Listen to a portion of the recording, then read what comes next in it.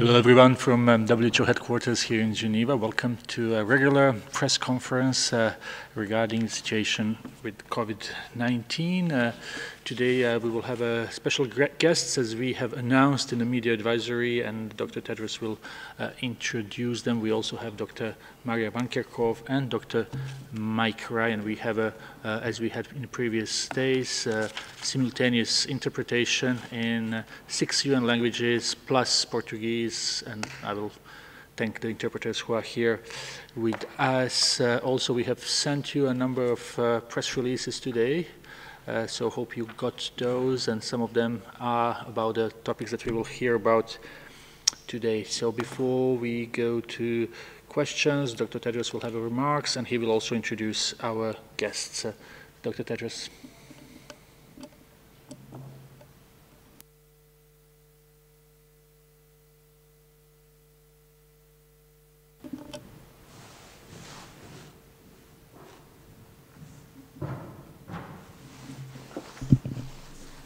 Thank you. Thank you, Tariq. Good morning, good afternoon, and good evening. Three months ago, I convened the emergency committee under the international health regulations, and after receiving their advice, I declared a global health emergency, WHO's highest level of alarm on January 30th. And yesterday, I reconvened the emergency committee to review the evolution of the pandemic and advise me accordingly. After three months, the committee consists of independent international experts representing all regions and full range of relevant expertise. I would like to thank the chair of the committee, Professor Didier Houssin, and all the committee members. Of course, the pandemic remains a public health emergency of international concern. The committee has made several recommendations for WHO and for countries. To outline those recommendations, I would now like to invite Professor Houssin to say a few words. Professor, you have the floor.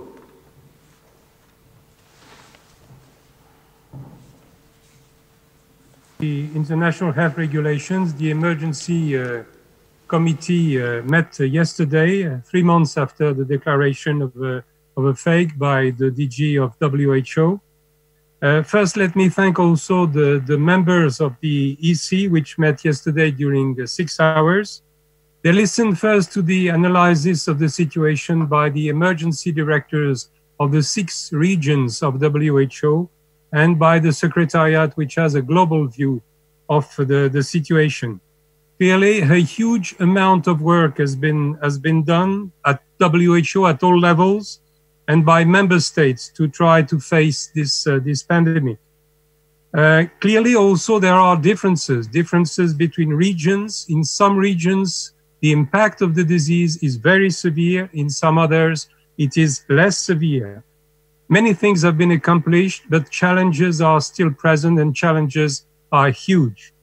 After three months, the EC members were first asked to uh, state whether this terrible event is still a public health emergency of international concern. And as you said, Dr. Tedros, the answer was quite simple. It is clear, the advice to the DG was clear. Yes, COVID 19 is still a public health emergency of international concern.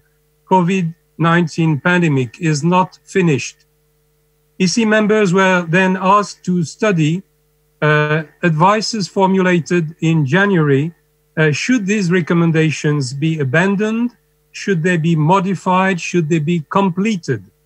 And two categories of advices were uh, issued by the, the committee, which I would like to very briefly not review, but just to identify some of the most important ones. More than 20 recommendations were addressed to WHO, and I would like to focus on four of them. The increased efforts towards fragile states and vulnerable countries and to mitigate possible disruption of food supply in some countries. Interruption of travel, of air travel in some cases, is a big handicap to cargo transportation. And this is why this is a risk which needs to be uh, addressed. Second, to develop strategic guidance with partners for a safe return to normal operation of passenger travel. This is a difficult issue because it's a question of confidence between member states. It's a question of safe travel, but it's also a very important aspect for the activities in many countries which are uh, relying very much on air travel.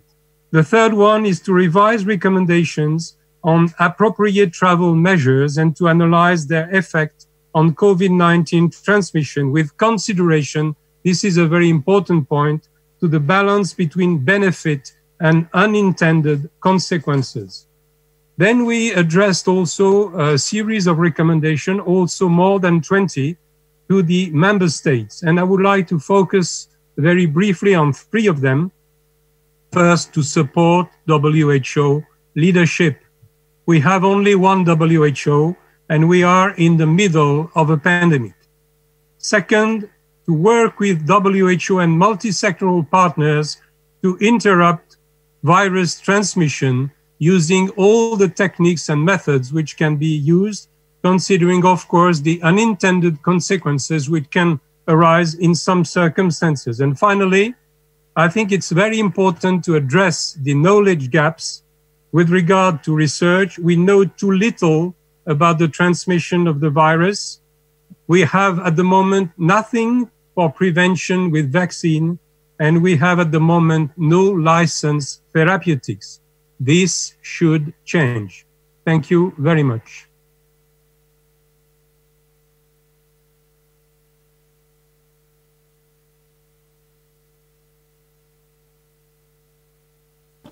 Thank you very much, uh, Professor Didier Houssin, for these uh, remarks. Uh, I will give the floor again to Dr. Tedros.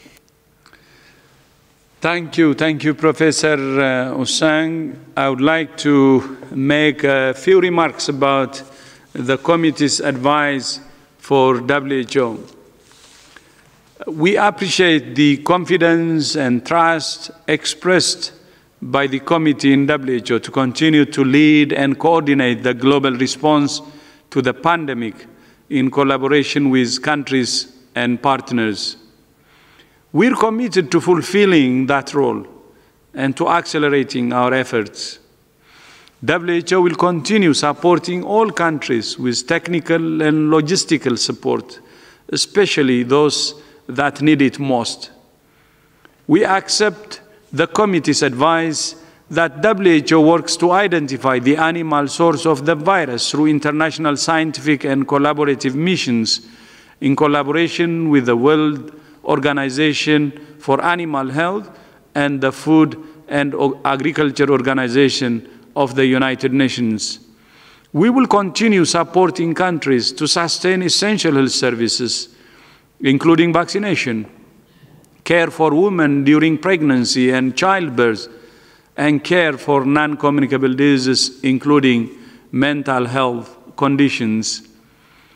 As we have done clearly from the beginning, we will continue to call on countries to implement a comprehensive package of measures to find, isolate, test, and treat every case and trace every contact. We will continue working with countries and partners to enable essential travel needed for pandemic response, humanitarian relief, and cargo operations and for countries to gradually resume normal passenger travel. As Professor Houssin explained, the committee has also made recommendations for countries, and we encourage countries to pay careful attention to that advice. And we encourage countries to follow WHO's advice, which we're constantly reviewing and updating as we learn more about the virus and as we learn more from countries about best practices for responding to it. In accordance with the international health regulations, I will reconvene the emergency committee again in 90 days or sooner if needed.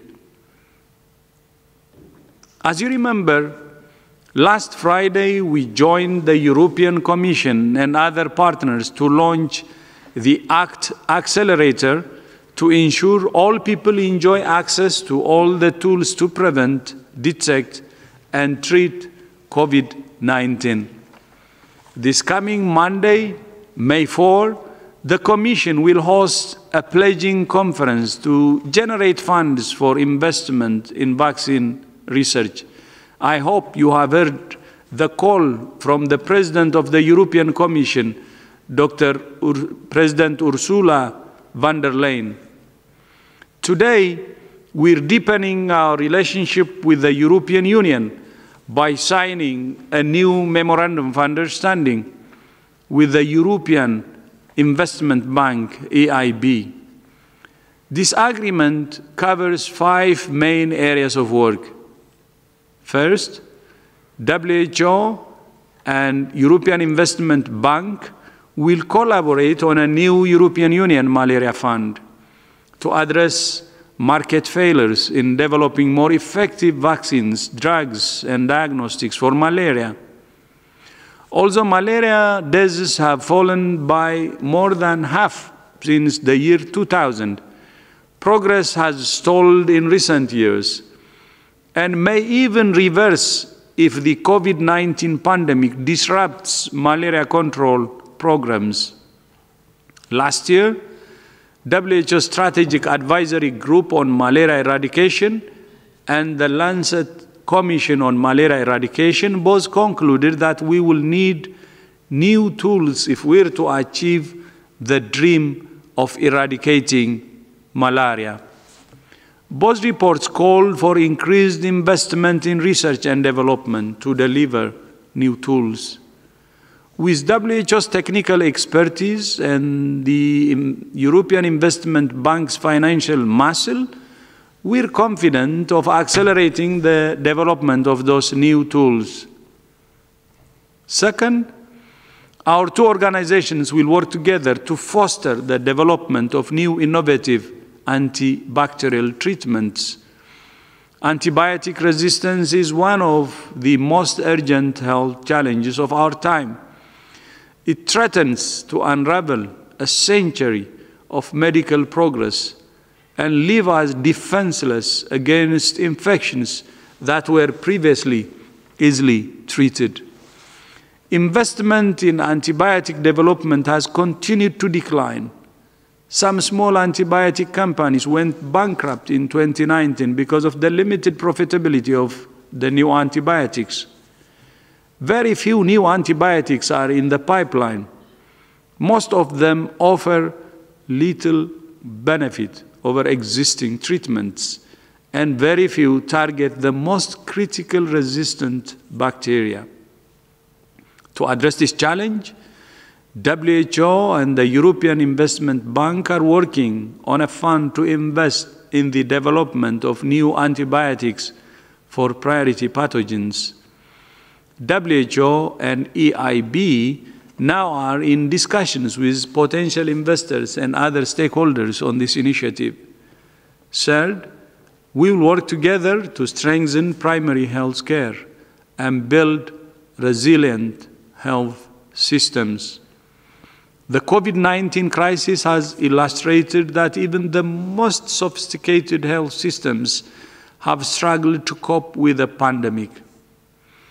WHO has grave concerns about the potential impact the virus could have as it starts to accelerate in countries with weaker health systems. With the EIB, we will therefore work urgently to invest in health infrastructure and health workers in 10 countries in Africa and the Middle East to start with. Fourth, EIB and WHO are exploring how the European Investment Bank could support the COVID 19 supply chain system. to facilitate the distribution of diagnostics, personal protective equipment, and other medical supplies to countries that need them most. And fifth, we will work together to study market failures in other areas of public health to examine how innovative financing could help overcome investment barriers and increase access to life-saving products and services. The EIB has rich experience in innovative financing. I learned from my friend Werner Hoyer today that the EIB were pioneers of the so-called green bonds 30 years ago to generate funds for climate and environmental projects, billions of dollars. We look forward to seeing how that type of innovative financing could deliver real results for global health when WHO is advocating health for all. As you know, we have been saying all roads should lead to universal health coverage. And it's not actually more important than now ever during COVID pandemics to say exactly the same. All roads should lead to universal health coverage, health for all. WHO is deeply grateful to the European Investment Bank for its support and collaboration. I would now like to invite the President of the European Investment Bank, Mr. Werner Hoyer, to say a few words. Vielen Dank, my friend, and you have the floor. Thank you very much. Merci beaucoup, uh, Dr. Tedros. It's a great pleasure and honor to be with you today. Uh, around the world, the COVID 19 pandemic is leaving a global trail of health, social, and economic destruction that is unprecedented in peacetime uh, since the Great Depression of the 1930s. So the coronavirus pandemic has exposed weaknesses in many health and economic systems, and it has also shown vulnerabilities in the global community's ability to prevent and respond to pandemic threats. Facing such a global challenge, the response needs to be coordinated, it needs to be bold, it needs to be quick, and it needs to be reactive to a changing environment. I would like to thank WHO and Dr. Tedros in particular for their leadership and for their tireless efforts. As the EU Bank, we are fully committed to strengthening the European Union's global response. And as the largest multilateral investment bank in the world by assets, we believe that we have a responsibility to act and can play an important role in the global response. Cooperation with WHO is formalized today with the signature of this agreement. But our teams have been working on the ground together and learning from each other, implementing health projects for some time now. Indeed, in recent years, the EU Bank has provided more than $2.3 billion annually for healthcare and life science investments across Europe and the world. Since the pandemic was declared, the European Investment Bank has transformed its support for health and business investment to help tackle new challenges. European heads of state and government have recently called on the EIB to support 200 billion of new financing for the European economy as part of the joint EU response. Outside the European Union, we have committed to provide one third of the EU response, that is 5.2 billion for COVID-19 related health and business investment needs following discussions with partner countries, partners across 100 countries. On Monday afternoon, Tedros already mentioned it, we will together participate in the pledging conference bringing together the European Union, G20, and UN partners to step up research, uh, investment in uh, vaccine research. As part of the pledging conference, I will outline how the EIB is currently assessing more than 20 vaccine development, diagnostic, and treatment projects, which could provide up to 700 million of euros of new investment. So, ladies and gentlemen, my colleagues and I are pleased that today the EIB can step up our long-standing cooperation with the World Health Organization at this time of need. and it fits perfectly into our cooperation with the United Nations organization in general and its sub-organizations. Our new partnership combines the WHO's unparalleled global health expertise and the EIB's financial strength and creativity. It will help deploy innovative financing solutions for high impact health investment and successful life science research and development. And this is exactly the international coordination needed to handle global health challenges.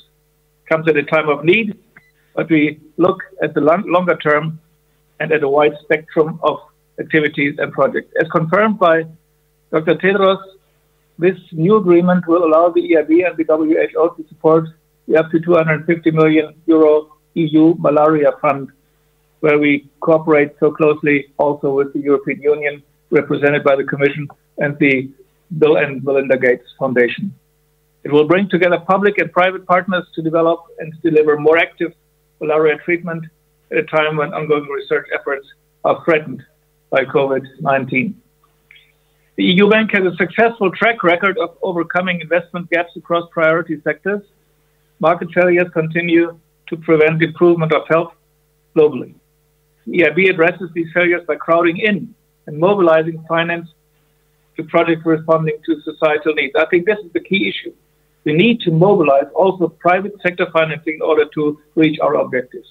When we, Dr. Tedros just referred to it, invented the green bonds 13 years ago as the first issue of green bonds, uh, the bank was considered lunatic. Now this market is more than $900 billion heavy, and it's a big success. And in my talks with the Secretary General of the United Nations, I promised that we would explore these possibilities, which we have explored with green bonds, also for other sustainable development goals, health and education being one of the key sectors there. Together with WHO, the EIB will not only accelerate investment in national public health systems, but also focus support of addressing antimicrobial resistance alongside malaria. It is essential that new investment successfully addresses the risk that current antimicrobial treatment will no longer be effective. We estimate that at least 1 billion euros is needed to provide medium-term solutions to antimicrobial resistance. Today's agreement will enable the EU Bank, the WHO, and new partners to accelerate work on a financing initiative, a new one. This will support development of novel antimicrobials and address the investment gap. And we are seeing on a daily basis investment to strengthen resilience to pandemics and public health emergencies. And this is essential to save lives and protect economic activity.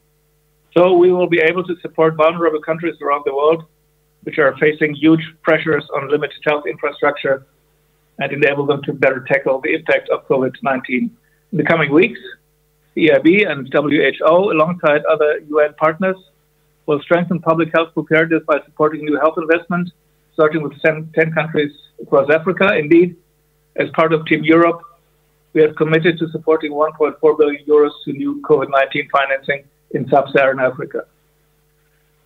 Our combined efforts in the coming months and years will strengthen the value of the work of the UN supply chain systems, improving the provision of equipment, will accelerate investment in primary healthcare and pandemic preparedness. This will increasing, include increasing investment in health workers and improving water and sanitation infrastructure. And together as an international community, we need to step up investments in global health and resilience. I believe the aforementioned is an important step. Let me thank all those involved in making today's agreement with the WHO possible. Dr. Tedros, thanks to you and your collaborators on this great initiative. Uh, I know that there are much more important issues to discuss today, as we have just heard, but if there are any questions uh, on our activities, I'm ready to respond. Thank you very much, uh, Mr. Hoyer, for your remarks, and uh, thank you also for agreeing uh, to stay with us for uh, possible questions that may come from, from journalists. Uh, Dr. Tedros will now formalize this agreement by signing the Memorandum of Understanding between the World Health Organization and European Investment Bank. Okay, thank you, thank you, uh, um, my friend uh, Werner. And I have the MOU with me. So Mr. Hoyer had already signed, so uh, it's an honor for me to sign.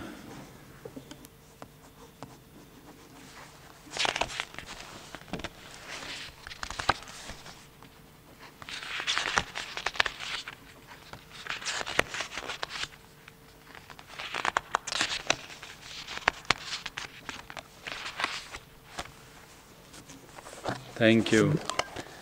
So that's it, signed. And thank you so much to the European Investment Bank for its support, and especially to my friend, Mr. Werner Hoyer. Thank you so much. Together, we will thank find. You so much. We will, thank you. Thank you. Vielen we'll Dank. get it done.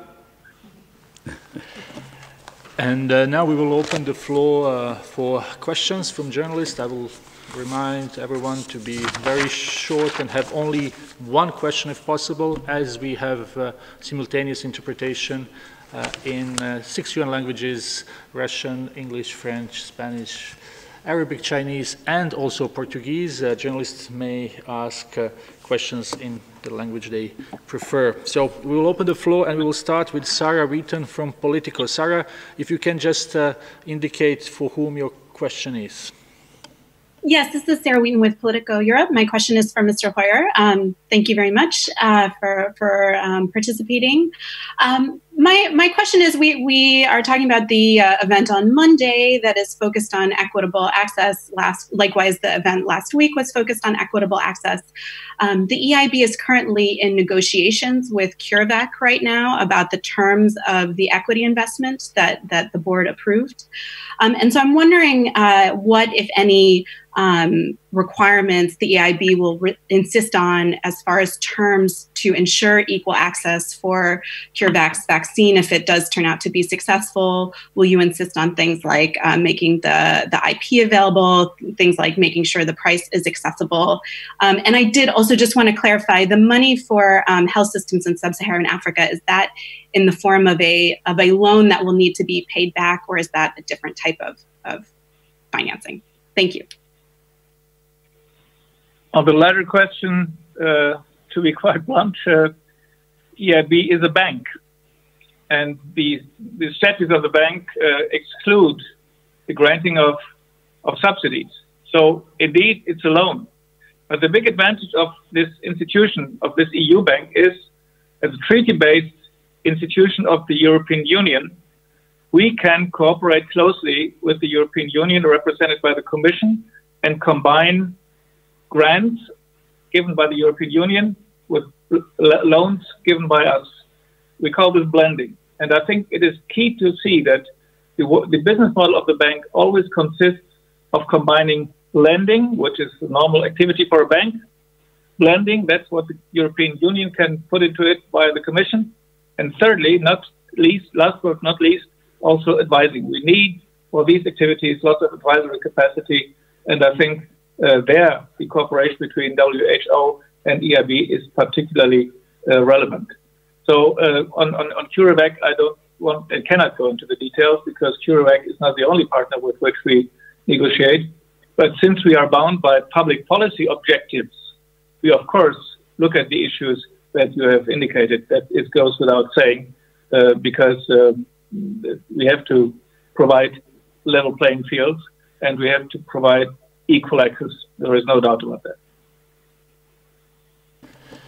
Thank you very much, uh, Mr. Hoyer, uh, and hope this answers the question from Sarah Wheaton from Politico. Uh, now we will go to uh, Uganda, to Pamela Mawanda from Uganda Radio Network. Uh, Pamela, please unmute yourself and, uh, and ask the question. Hello? hello? Yes, we can hear you. my question goes to Dr. Tedros. following the um, emergency committee sitting, uh, what is your general advice to countries around the world in regards to how they should handle lockdowns, lifting of lockdowns, and the way forward to handling the virus?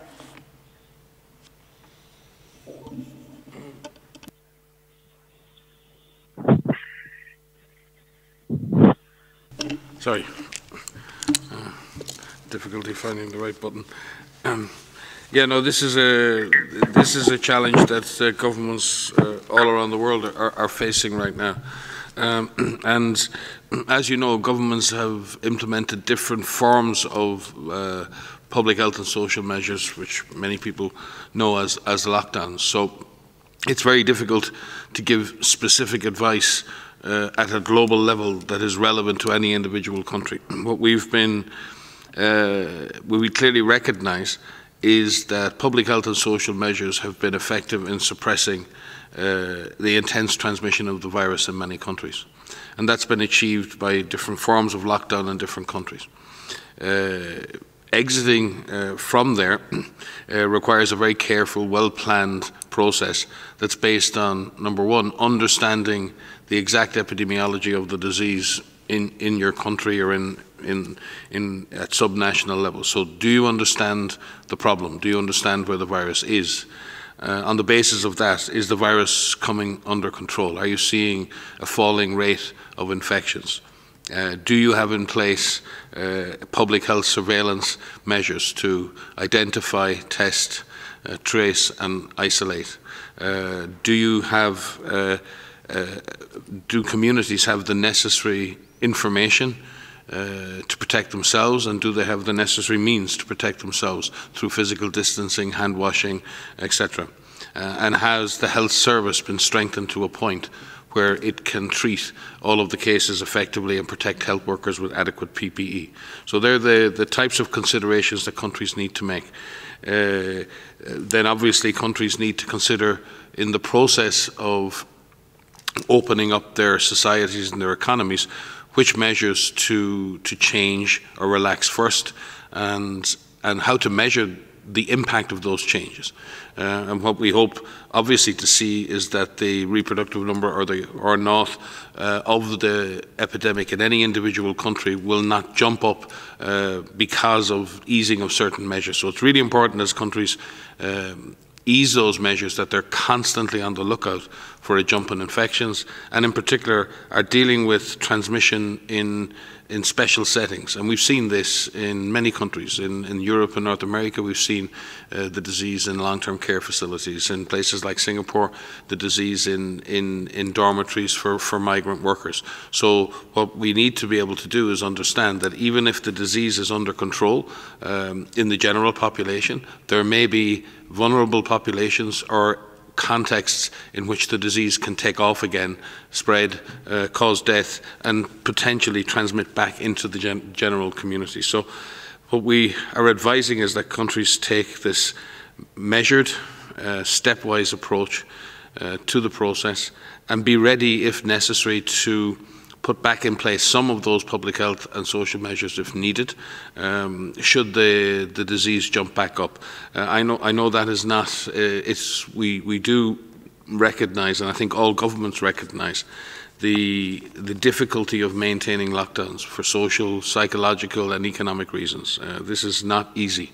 And we also recognise that particularly in, in developing countries where um, the, the, immediate economic impacts on contract workers and those who work from day to day for their, for their, for their daily bread uh, is even more profound. So uh, we, we are very anxious that we can move uh, to a situation where the disease can be kept under control with less severe measures, but at the same time we want to avoid a situation where we release measures too easily and then we bounce back into intense transmission and we have to do it all over again. These are very, very difficult judgments for governments to make, uh, but they must be done carefully um, and with eyes wide open. Thank you very much, Dr. Ryan. Hope this answers a question uh, that came from uh, Pamela from Uganda Network of Radios. Uh, next question is from National Geographic, uh, uh, Sikan Akpan. If you can hear us, uh, Mr. Akpan, please ask your question. Hello, can you hear me? Uh, yes. Yes, thank you for taking my question. Um, and it is for anyone willing to answer. Given what we know now about how the disease spread rapidly from China, does the emergency committee have any regrets over declining to declare a global health emergency during its first meetings on January 22nd and January 23rd. And if you could make the decision again, would you make a different one? Um, sorry, uh, maybe I can just clarify that the uh, the emergency committee does not uh, make such a declaration. It offers uh, advice to the director, that director general, on, on making uh, such a declaration. Um, I, I, think the DG has spoken about about this before. The the committee met and deliberated um, on those uh, at that first meeting, and in fact extended its deliberations and into the next day um, and uh, did not reach a consensus and was uh, very much not a consensus uh, around whether the event constituted a global public health emergency at that point. Uh, the committee did, though, ask that WHO collect more information uh, and seek to clarify um, the, that situation and be able to come back and provide more input with affected member states in order for them to be able to reach a determination and advise the DG accordingly. And as, uh, as you know, in that subsequent uh, week, much more investigation was done uh, in affected countries. We, we saw uh, um, uh, uh, also a, a, mission to, to China led by the, the Director General himself and immediately on return from China, he convened uh, the committee again, uh, and we presented, as well as countries presented, uh, further data to the committee. And at that point, the committee uh, uh, assessed that a global public health emergency existed and advised the DG accordingly, and he subsequently declared that same day.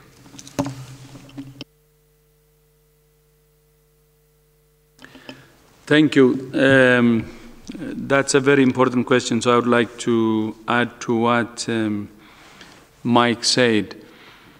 Uh, as Mike said, on the meetings of the emergency committee, the last meeting was on January 22, and then followed by January 23. And in both days, uh, they have discussed about whether to declare emergency or not uh, but they were divided. And as you also know, emergency committee is not like a parliament. So if they're divided, they don't go into votes, but they uh, actually propose to collect more information and more evidence, and then come back and see if they can reach a consensus and a committee that advises uh, science and evidence-based organization should make sure that the right information and evidence is collected to reach a consensus on the recommendations they make to WHO or to me as, as DG.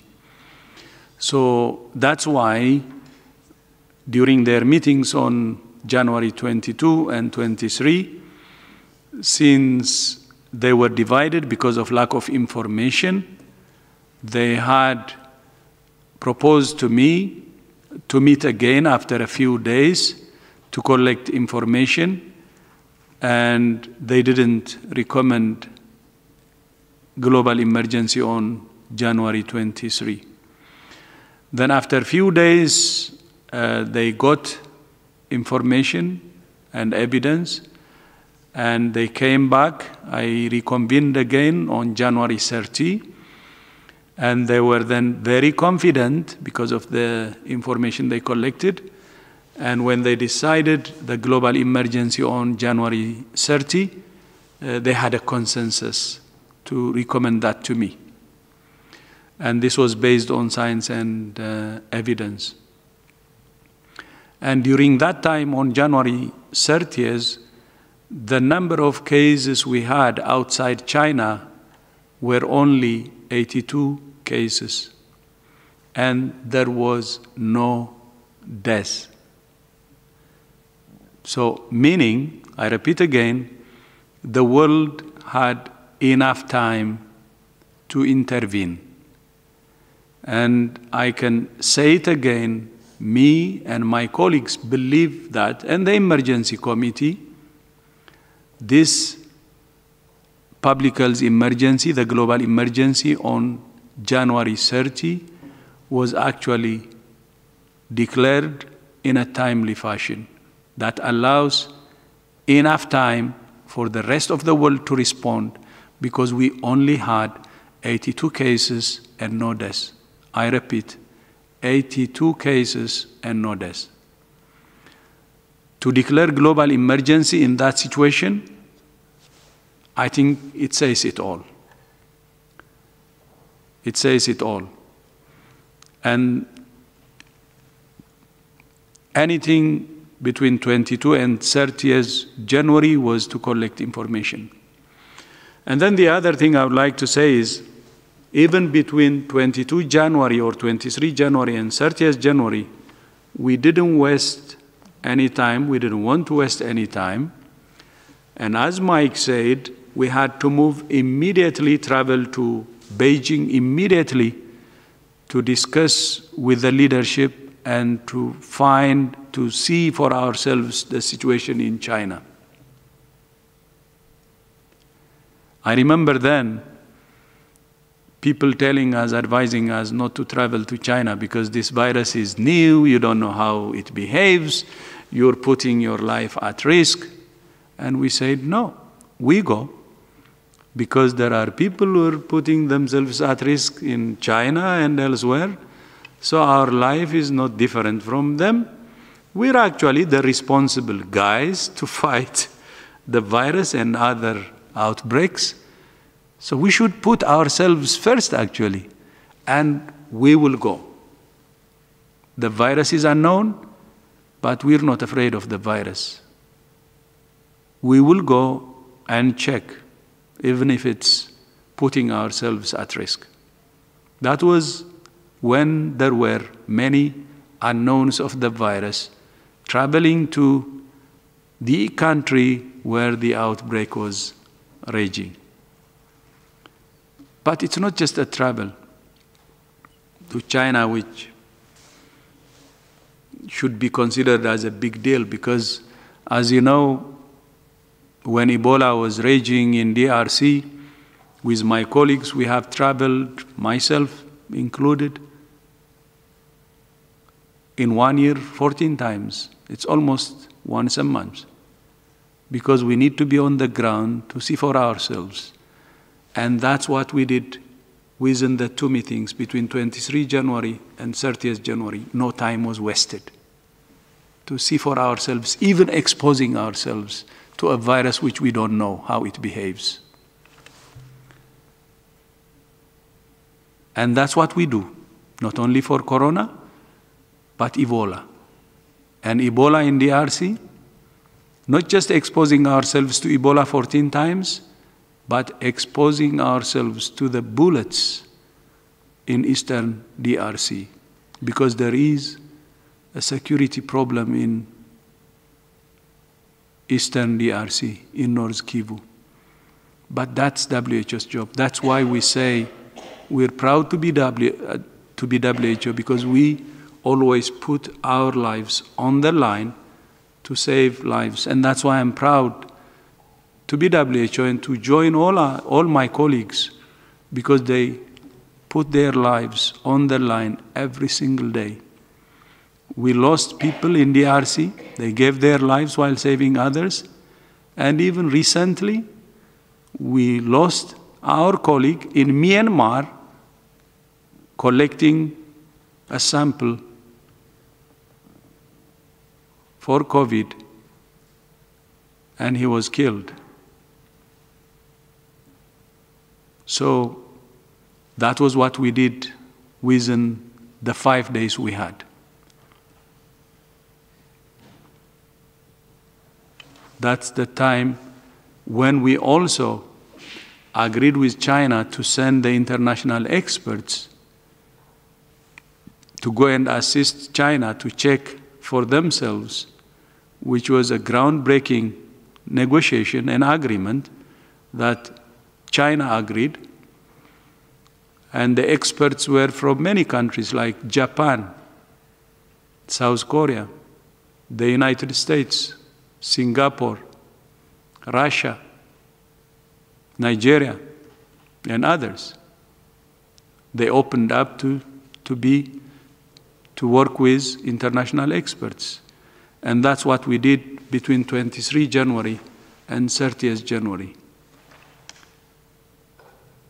And I repeat, the 30th January was a timely declaration of the highest level of global emergency based on the international health regulation, which is WHO's mandate.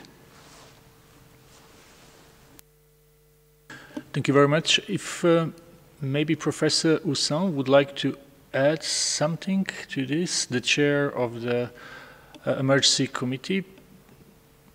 I think that Dr. Tedros uh, explained very clearly the, the situation and the situation in which the emergency committee was on the 22nd and 23rd. That is, uh, on the 22nd and 23rd, there were four cases abroad, of course, with no death. And of course, uh, in French, we call it lucidité a posteriori.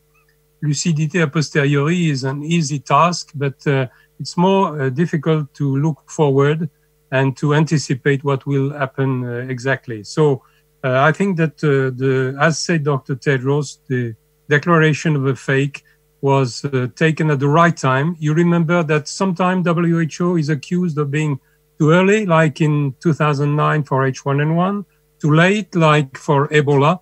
I think in this case, uh, WHO uh, decided in a timely, timely manner.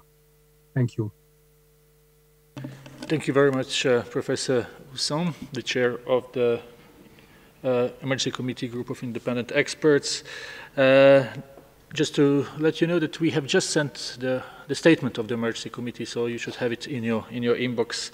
We will go to next question. That's uh, Gabriela Sotomayor from Mexican News Agency. Gabriela. Uh, Gabriela, can you hear us? You need to Hola, hola. Hola. ¿Me escuchan? Can you hear me now?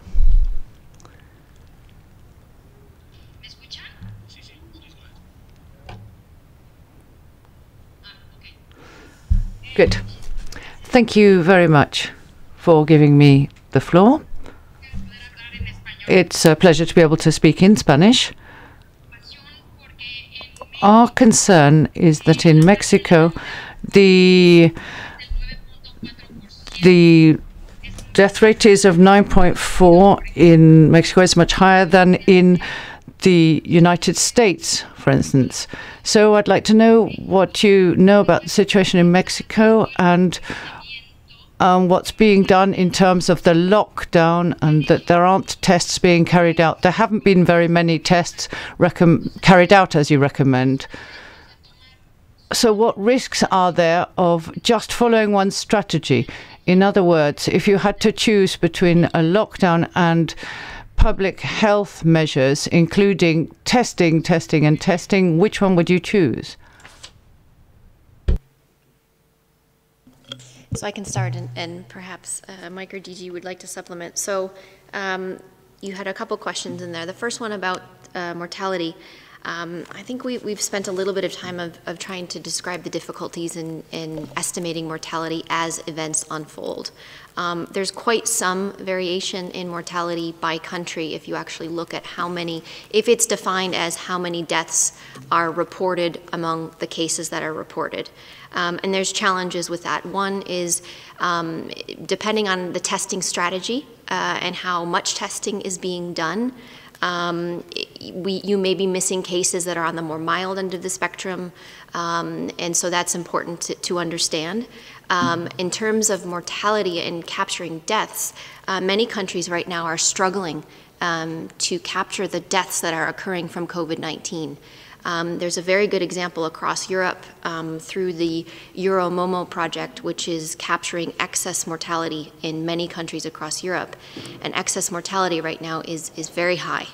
Um, and so I think it will take some time for us to really understand um, which deaths are due to COVID 19 directly in terms of the infection causing that death, and which of the deaths are associated with COVID 19, either because um, someone has died because they didn't get care uh, for some other reason. And I think it's going to take some time. So we have to be careful when we compare mortality from Mexico versus mortality from the United States versus mortality even within a country. Um, and so there are some challenges there. Your other question about whether we do testing or whether we do public health measures, uh, that's not the right question, unfortunately. It has to be all of these measures together. It has to be. Um, testing alone does not work. Um, contact tracing alone does not work. Lockdowns alone do not work. Um, it has to be part of a comprehensive strategy. Testing needs to be strategic. It can't be testing every single person in the population. It's just not feasible. It's just not possible. Um, we have tried to be very clear in our testing strategy and prioritizing your tests for suspect cases, testing suspect cases and contacts who develop symptoms. That's the priority. In situations where testing may become challenging because the tests aren't available or the reagents aren't available or the swabs are not available, then you need to be more strategic, even more strategic, and maybe focus on those individuals who may develop severe, severe disease and require care. Maybe focusing on more intensively on healthcare workers. And so um, it's a much long winded answer because it's complicated. It depends on the situation that you're in, um, but it has to be a series of measures that are put in place. It cannot be one uh, situation, one um, measure alone. The DG has said not testing alone, not contact tracing alone, not isolation alone, not quarantine alone, not lockdown alone, all of these measures. Physical distancing is important, hand hygiene is important, respiratory etiquette is always important. Um, so it's all of these measures that need to be considered when either intensifying them or lifting them. just supplement very quickly and um, from the perspective of um, the situation in, in, Mexico, there have been uh, 16,752 cases in Mexico as of yesterday, with 1,569 deaths. Uh, but the number of cases is up 76% on the on by week on week, and up 80. The number of deaths is up 83 percent. So there's no question that in the case of Mexico, this is still a very active epidemic uh, in Mexico. Uh, I don't have at hand, obviously, the subnational data, so I won't speak to the different patterns that may be occurring at the state level. Uh, if when you calculate a crude case fatality of those confirmed cases and deaths, you, the, the, that case fatality is of the order of uh, 9%. Um, and th that, that can mean a number of things, but what, what it usually means at this stage in an epidemic is that there's uh, under detection of the milder cases. That's what we see in many situations, a higher case fatality, and then as you test more people and you detect more mild cases, that, that proportion drops over time. Uh, it can also reflect and has reflected, as you've seen uh, around the world, that when the health system comes under pressure and intensive care beds come under pressure, patient outcomes can be affected by the lack of oxygen or the lack of availability of ventilators, etc. So I would uh, say that uh, Mexico uh, uh, is is is like many countries in Central and South America is is um, on an increasing trend. more needs to be done in terms of surveillance, uh, testing, and, and obviously uh, the, our American, uh, our, our, regional office for the Americas, the Pan American Health Organization, is working very closely with authorities in Mexico to support them in improving surveillance and improving patient outcomes. And I know that, that Mexico has uh, at least nine registered uh, trials uh, for um, clinical trials, and is also has shown interest or has requested to be part of our solidarity trial. So we thank Mexico for that. We thank Mexico for its openness and uh, data sharing, uh, and we will do all that we can at WHO and at PAHO to support their response because uh, right now the situation in Mexico is still evolving, still developing, and, and obviously more needs to be done to bring the disease under control. Thank you very much, uh, Dr. Van Kerkhove. Dr. Ryan, uh, next question is uh, coming from uh, Malaysia. Randy, uh, Randy, can you hear us? You would need to unmute yourself. So, oh, sorry. yeah, I can hear you now. Yeah. Yes. Um, thank yes. you for taking my question. Um, I'm Randy from The Telegraph. Uh, my question goes to the WHO in Geneva. So I'd like to ask you a question with regard to the spread of the virus in prisons and mental health institutions in Indonesia, the Philippines, and basically the rest of Southeast Asia. So, Um, how worrying is this situation in the region in general, do you think? And what do governments in the region have to do more to tackle this crisis that might be taking place in, in those facilities? Thank you. Um, thanks for the question. Um, thanks for the question. I don't have uh, specific numbers on, on the impact in prisons or mental health institutions in, in, countries in Southeast Asia, but it's something we've issued guidance on in, in, in both cases. Uh, it's a concern. Uh, we've said the same about long-term care facilities in Europe, uh, dormitories for, for migrants in, in many countries in, in, in, the Middle East, in South Africa, in, in Singapore, uh, prisons all over the world. Uh, we've talked about cruise ships and other types of vessels. We've talked uh, about um, any long-term care facilities. And, and, the reason why we've spoken and we've been so concerned about these facilities uh, for two reasons. One is that if a disease gets into a closed community, the disease uh, can spread very quickly. In fact, one of the most successful uh, programs for doing sentinel surveillance for influenza over the last 30 or 40 years was using boarding schools to, to, to check for the, for the disease because once influenza arrived in a boarding school it spread like wildfire so you could pick up a signal of the arrival of influenza in a country by these uh, groupings of people who amplified the disease. They almost became like amplifiers. So anywhere where people come together, a respiratory uh, illness will spread quickly um, that, that's always a difficulty and a problem. Uh, if it's a young, healthy community that are infected, then obviously the impact on them may be, may be less, but at, at the same time could be significant. When that disease gets into an institution or a facility in which there are many vulnerable people, be it people with underlying conditions, older populations, then the impact of the disease, not just the transmission, is great. Um, and I've said this before at these press sessions. Uh, it, it, doesn't matter if you're in prison, it doesn't matter what your crime is. Uh, all citizens and all people in society uh, deserve to be protected under the law, and, and as such, there are responsibilities uh, for all those who manage facilities to, number one, try and shield those facilities from disease getting in, having the necessary uh, measures in place to reduce the chance that disease will spread, and that means having the capacity to detect very quickly. And I think one of the thing in things in an institution uh, that needs to be done really, really quickly is the first signal, the very first signal that something is wrong.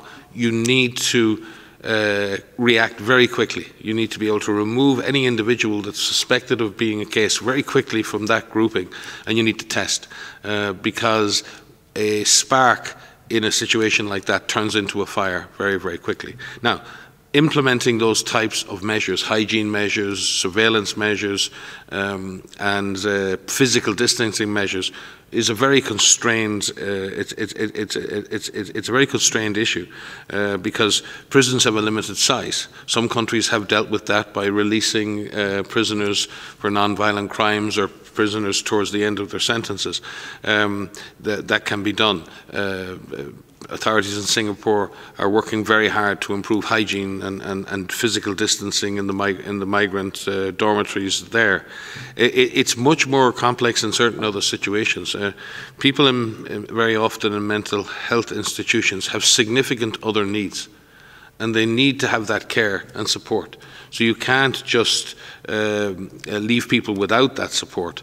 Um, and uh, I think uh, there not only are there significant mental health implications of the pandemic itself on individuals, but there are people who have significant mental health problems who need constant support and uh, it's a very complex issue. How do you reduce the chances of infection in these facilities while still being able to deliver adequate care? Um, but it also speaks, I think, in the long run to, to the whole concept of uh, large-scale institutionalization of people with mental health difficulties. Uh, I think we need to find um, more sustainable solutions for, for dealing with those in our society who suffer um, uh, mental health illness um, and uh, uh, large mental health institutions in which people are sometimes abandoned is, is, is not necessarily, not only from an epidemic point of view, not a good societal solution for dealing with those in our society who are unfortunate enough to deal with long-term mental health issues. Thank you very much, Dr. Ryan. Next question is from uh, Swiss News, uh, Laurent Sierro. Uh, Laurent, please, if you hear us, go ahead. Uh, Laurent, you Can you hear me? Yes. Yeah. Thanks for taking my question. Question to Dr. Tedros. Uh, you briefed again the missions yesterday.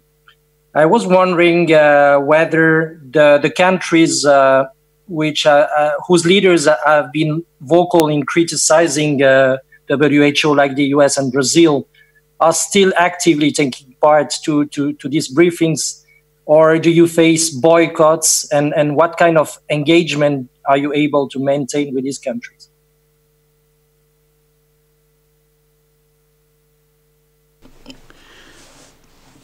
Yeah, thank you. Thank you for that uh, question. We are actually in constant uh, contact and uh, we, we work together.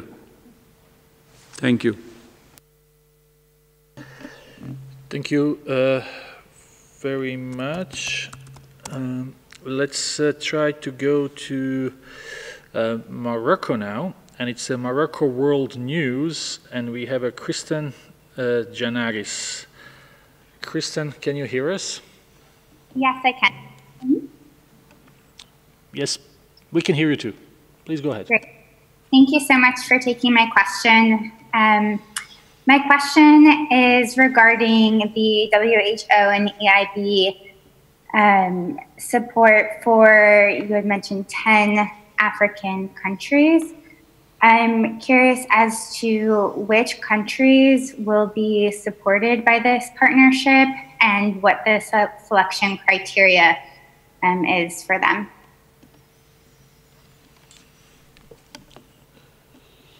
Uh, thank you very much. Do we have Mr. Hoyer on online? Maybe Mr. Hoyer would like to I'm, to start. I, I'm in but uh, I, I, must disappoint you because uh, this communication has not gone to the respective governments yet, and therefore, I, I, for the time being, I cannot respond to this. And together with the WHO, we will do that within the next couple of days.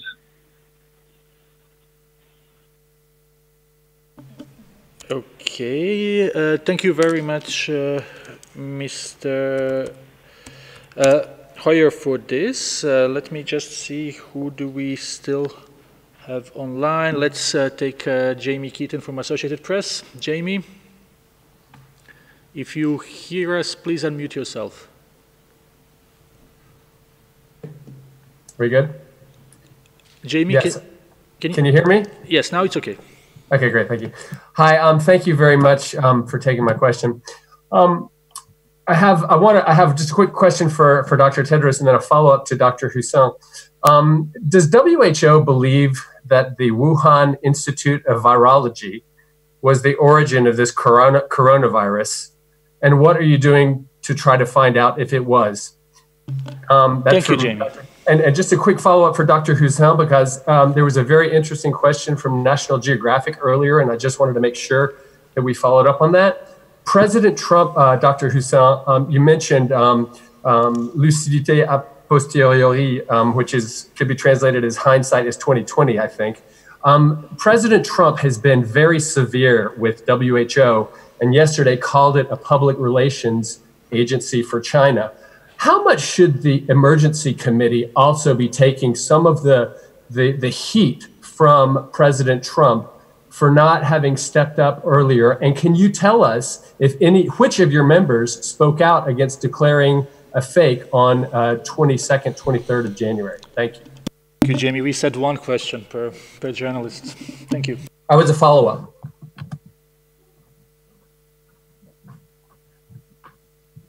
Professor Houssin, do you want to?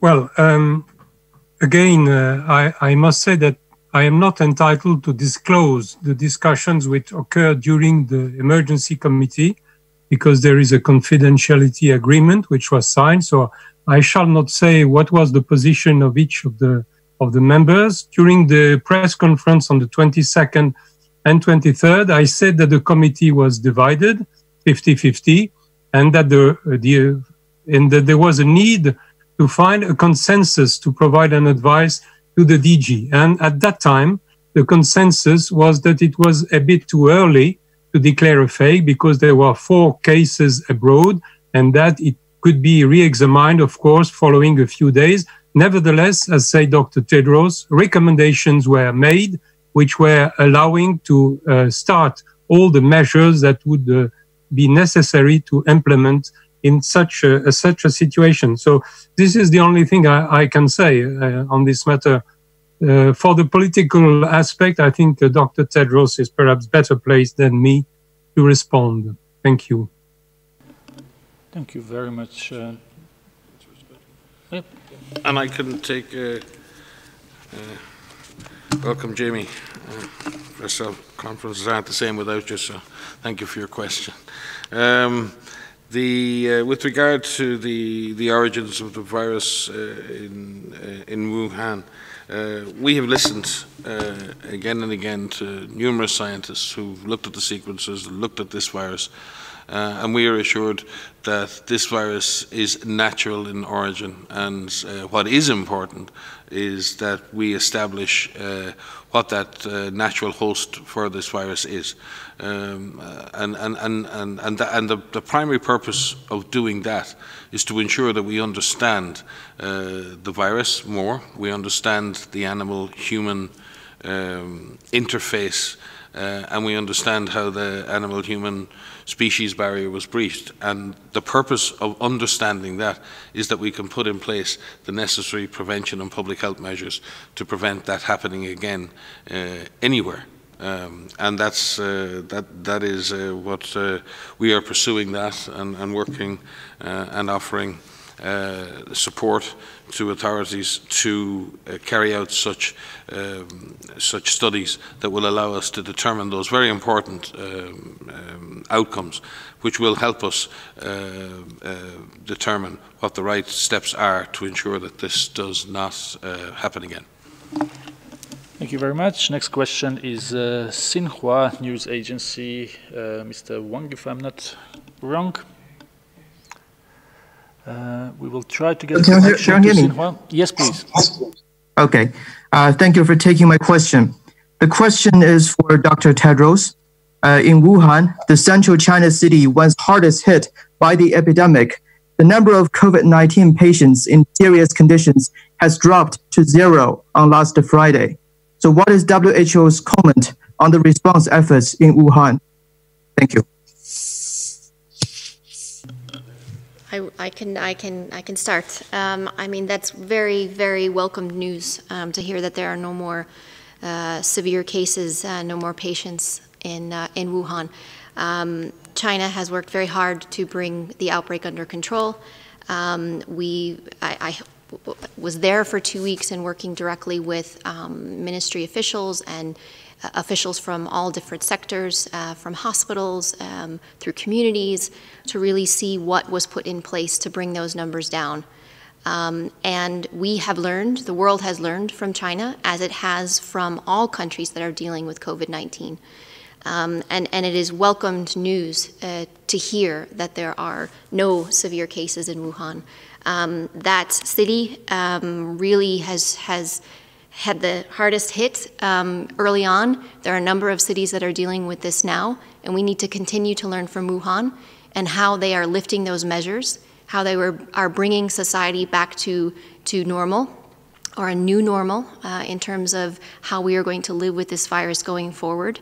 Uh, but we welcome all actions by all countries um, that are putting in place measures to suppress transmission, um, to identify patients early so that those early patients don't progress to severe disease. Uh, we welcome the innovation and the treatments that are in clinical trials right now that are looking so hard to find treatments to prevent people from dying from COVID 19. Um, we welcome all and we thank the healthcare workers who have put themselves on the front lines to care for patients, to be away from their own families to care for patients, um, to prevent those individuals who are infected with COVID 19 from dying. So, um, nothing but admiration um, and thanks. Um, for the tireless efforts of the people of Wuhan, not just the healthcare workers, but the individuals who, who stayed in their homes um, who adhered to the public health measures for extended periods of time. Um, we take our hats off to you um, and we thank you for your commitment and your service and for sharing uh, with us and the world what, what you've been able to do. So congratulations uh, to Wuhan on, on, on this, this achievement. And we know that you will remain vigilant um, to find any additional cases that come because this is far from over. Um, and we know that, um, and everyone uh, stands uh, at alert to find cases as quickly as possible. Thank you very much. Uh, we have a time for one or two more questions, so uh, we will uh, try to go to Spain now. Uh, Cristina Masdiaria.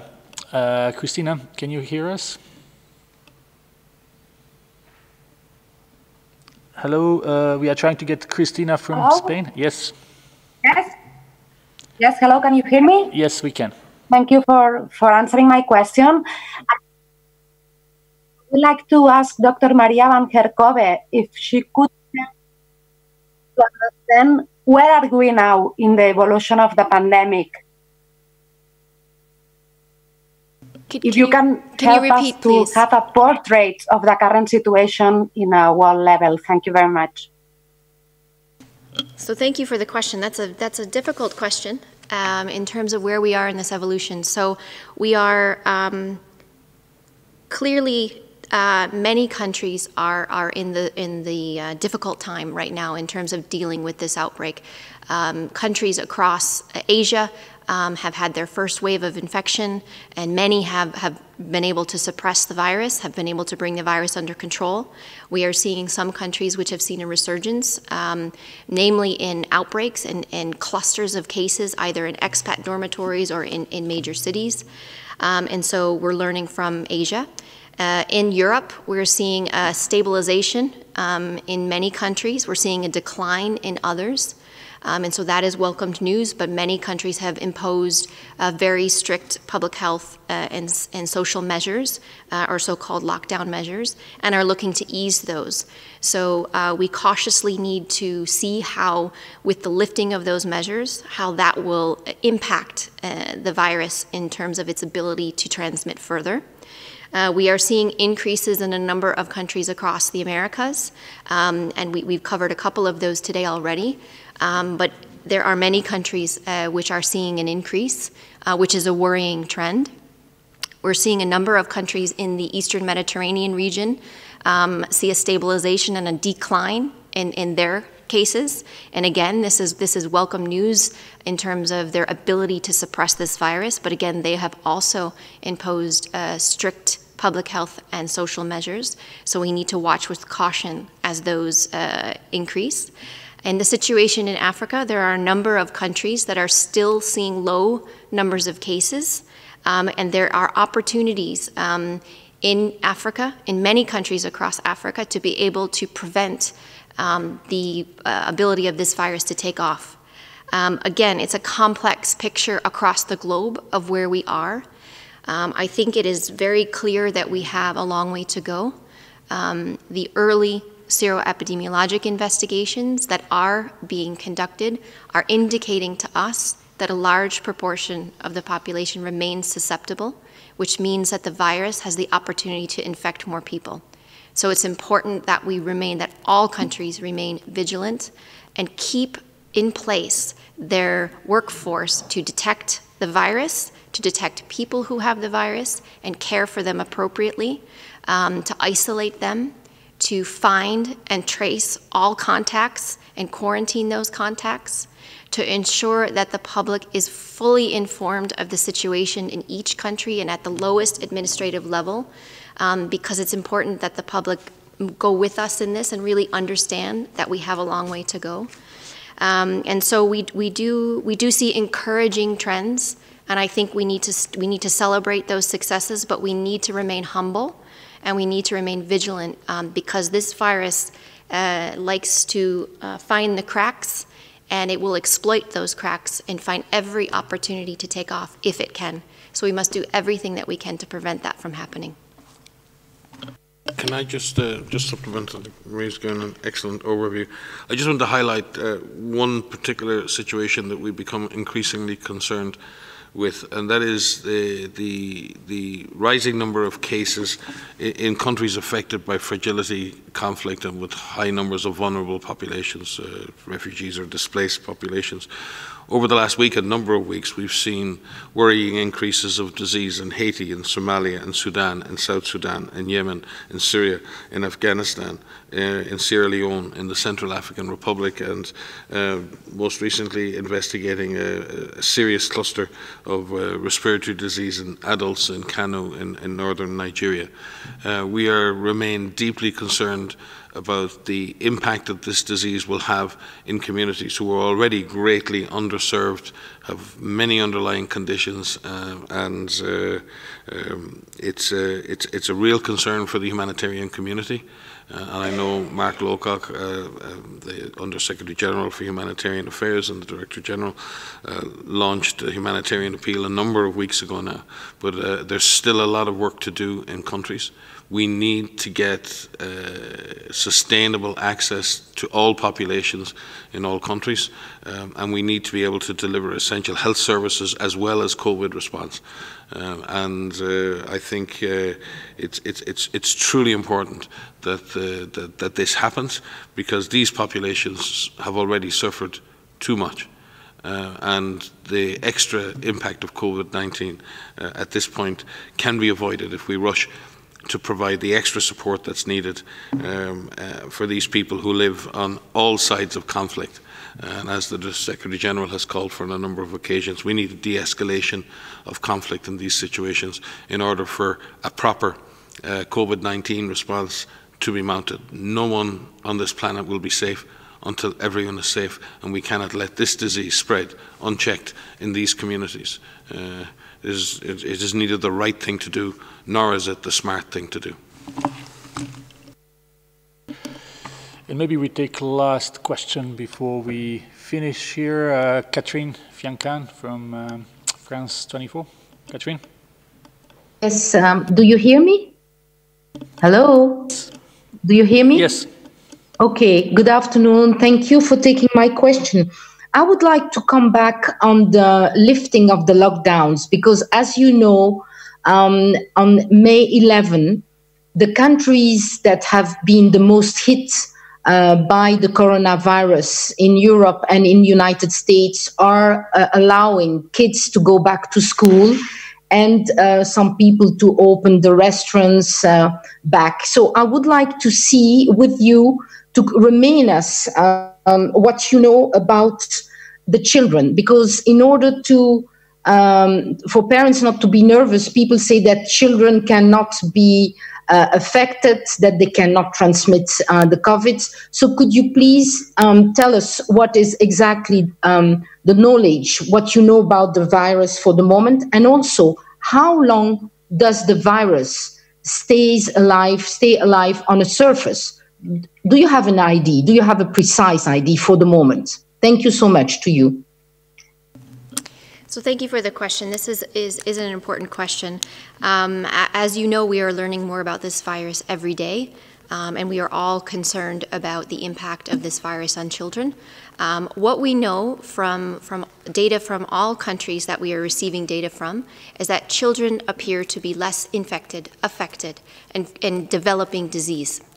And that means when you look at the number of cases that are reported from, from all countries, um, a very small proportion of those are children, ranging between 1% and upwards of 5% are among children up to the age of 18, in some countries 19. So it's a small proportion of the total number of cases detected.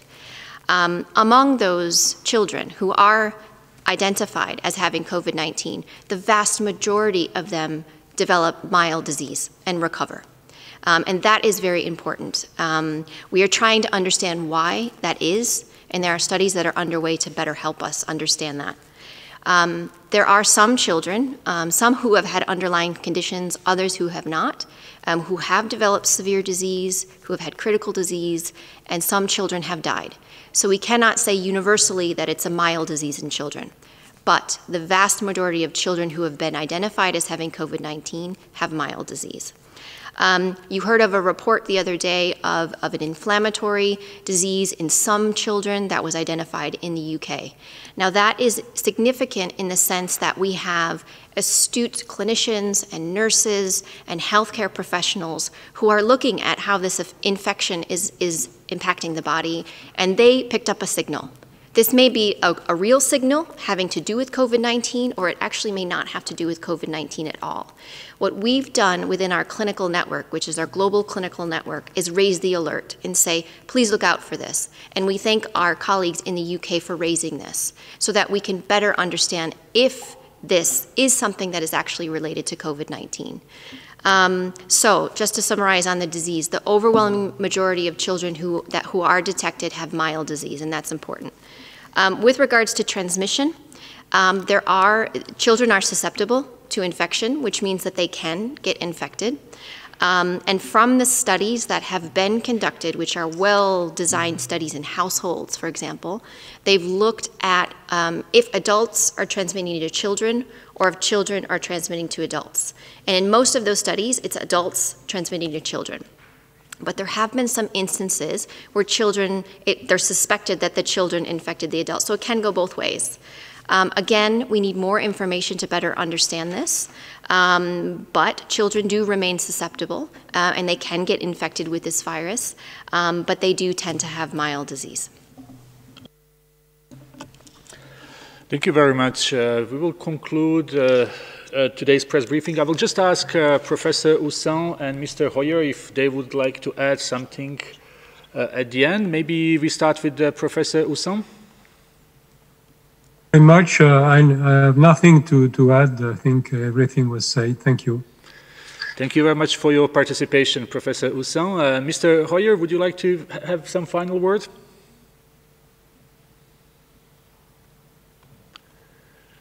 That we are going to start uh, we didn't hear you. Can you just repeat, please? You were on mute. Uh, uh, sorry, sorry, uh, uh, sorry. Can you just please try one more time because we couldn't hear? Unmute yourself, please. Something seems okay. to be wrong with the unmuting here. Now it's okay. Better now. Now it's okay. Okay. So just thank you very much for, for the opportunity, and let's uh, start a great cooperation. Thank you. Good luck for your work. Thank you very much for your participation. Thank you. Thank you, Professor um, Houssin, and also uh, my friend um, uh, Werner. Uh, and I would like to thank all who have uh, joined. And I would like to wish everybody happy Labor Day. Uh, have a nice weekend uh, these two will pass, and the antidote is solidarity. Let's stay together. Thank you so much. And see you on Monday.